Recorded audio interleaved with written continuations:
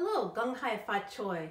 That is how we say Happy New Year for Chinese New Year, also known as the Lunar New Year, and it's celebrated throughout parts of Asia.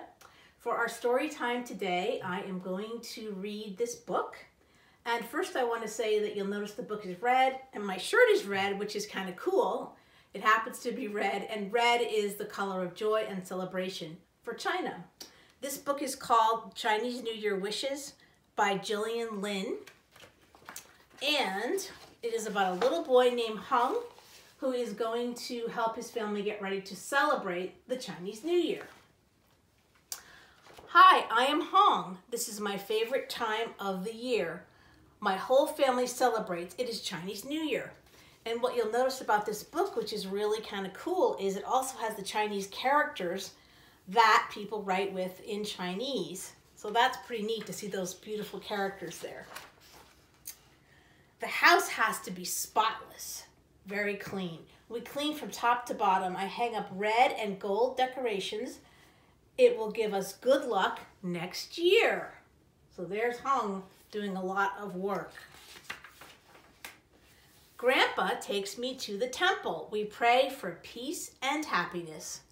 I shake a box of bamboo sticks. It tells me I will be lucky next year. There's Hung and his grandpa.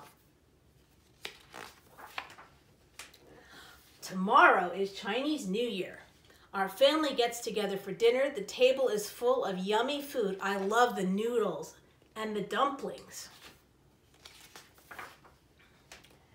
It is the first day of the new year. I wear new clothes and shoes. My parents give me a red packet.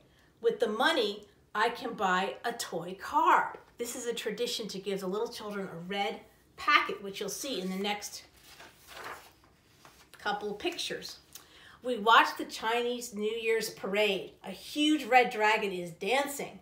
The booming drums make lots of noise. Happy Chinese New Year. So this is the story of Chinese New Year. Long ago lived a monster called Nian. He stayed on a mountain. Each winter he got hungry. He ran down to steal people's food.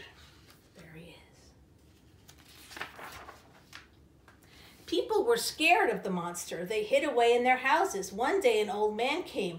I am not afraid of Nian, he said. He stuck red paper on doors. He lit lanterns everywhere. He made loud noises. Copy what I do, he said to the other people. Nian came and heard the noises. Help, he screamed and ran away. Each New Year, people did the same, and no one has seen Nian ever since. To wish someone happy Chinese New Year, you say Gong Hai Fat Choi, and these are the red packets that the children get money in. The Chinese New Year holiday is a busy time. Altogether, people in China take 3 billion trips by bus, train, and air to visit their families. That's a great picture of a family having Chinese New Year. Each Chinese year is named after one of 12 animals, the rat, the ox, the tiger, rabbit, dragon, snake, horse, goat, monkey, rooster, dog, and pig. And if you want to know what animal you was your year, you can have your mom or dad Google it for you. I happen to be born in the year of the ox. And guess what? This year is the year of the ox. So I am an ox. The day of the new year is called the Lantern Festival. Children carry lanterns and solve riddles. Here's a riddle for you. What belongs to you but others use it more than you do? I'll give you a second to think about it. But it's your name. Your name. Others use it more than you do. Happy New Year, everyone. Have a great celebration. Goodbye from all of us at the zoo and have a wonderful day.